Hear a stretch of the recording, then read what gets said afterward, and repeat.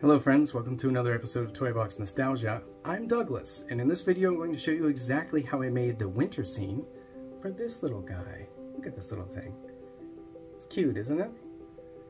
This is a reindeer that came from a Kinder Surprise egg, and my wife and I were recently doing some light and early spring cleaning and came across a box of trinkets, things like this, things like pins and keychains, stuff like that, and I was immediately inspired to do a winter scene for this. I don't know, it's just so cool looking, so simple. Anyways, this is the image that you're going to see. So stay tuned.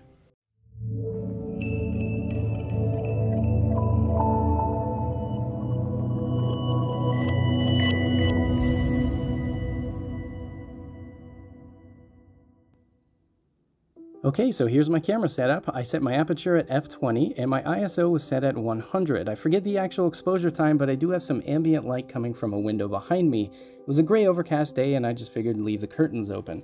This is the entire diorama uh, as I started building it. It was a lot different at the end and you'll see that later.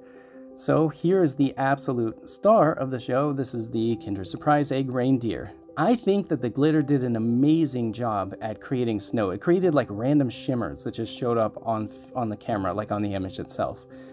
I have some small rigs. The one sitting on the right was actually removed on the desk. This one in the sky, I left there. It was just pointing and splashing light directly down and hitting the gold reflector.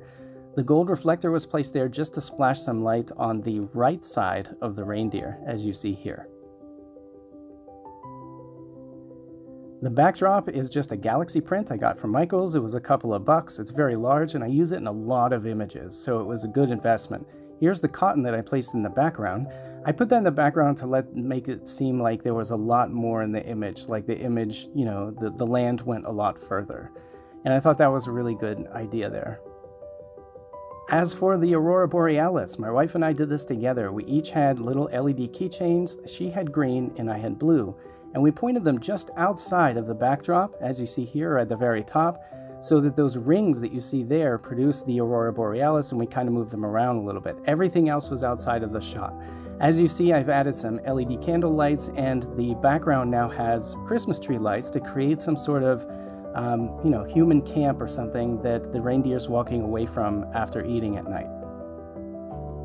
The snow was added into the image afterwards. I used the lens distortion application as you see here to add layers of snow. Thank you for joining me friends. I hope you enjoyed the episode. If you did, please consider hitting the like button, subscribing, and if you get a chance, check out my SmugMug. Link is in the bio.